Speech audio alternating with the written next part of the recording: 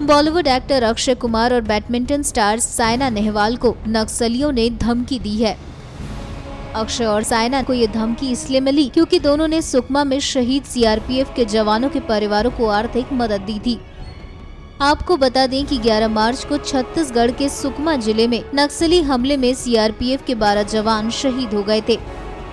इस हमले के बाद अक्षय कुमार ने शहीद जवानों के परिवारों को 9-9 लाख रुपए और सानिया नेहवाल ने 50-50 हज़ार रुपए की आर्थिक सहायता दी थी। नक्सलियों ने एक प्रेस नोट जारी कर इन दोनों स्टार्स को धमकी दी है। नक्सलियों की ओर से जारी प्रेस नोट में शहीद जवानों के लिए आपत्तिजनक शब्दों का प्रयोग किया गया है।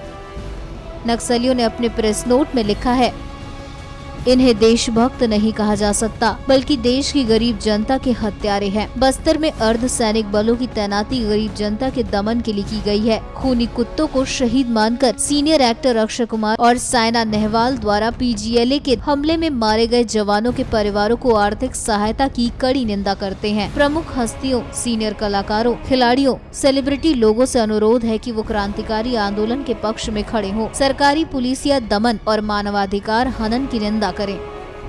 संभवतः ये पहला मौका होगा जब नक्सलियों ने किसी सेलिब्रिटी को शहीदों के परिवार की मदद करने के लिए धमकी दी है।